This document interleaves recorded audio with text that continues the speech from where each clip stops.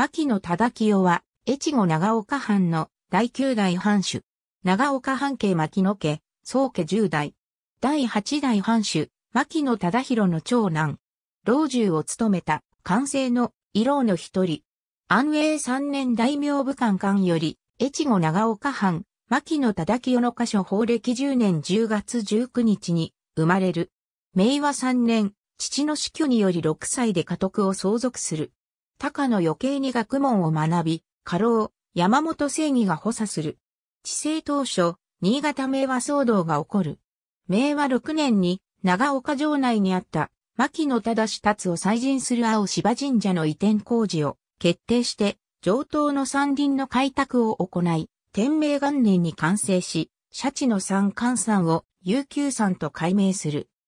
長男の忠静が松平定信の縁石にあたることから、総社番、自社奉行、大阪城代、京都諸子代、老中など要職を歴任した。また、京都諸子代時代は、伊藤東署に学ぶ。法暦3年に失っていた、長岡線道の信濃川運送特権を、川筋の諸藩と協議した末、天明8年に回復する。藩校ストック館を描いた絵図。長岡城の面影より、文化5年藩校ストック館を開校し、文化12年に古文自学を収めた秋山慶山や古義学者で藩に招いた伊藤東岸を藩校の校長職であると校に任命する。文化15年2月から村上藩と共同で三方付近の排水工事と浸水路掘削工事を行い、出雲崎大館の意義を抑えて、文政3年に完成させて、238丁部の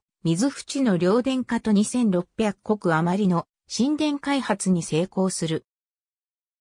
しかし一方で、仙台に引き続き災害に見舞われ、長岡反省市場でも損害が大きい洪水が天明元年と完成元年に起こり、二度とも長岡城が浸水し、天明期には、藩内の流下、海屋840件、完成期の洪水では、流下、海屋585件及び6万6千国以上という、表高の9割、実高の半分以上の米国損害庫を出し、天明4年の大飢饉、文政11年11月12日の三条地震では、長岡城の施設の大破、城下、海屋220件、豪中海屋3522件、田畑後輩955丁部余り、死者442人などの被害が出、その翌年には、欧風で木内破損35カ所、家屋倒壊162個などの被害を受けている。また、治世中の判定の所在が変更されることが多く、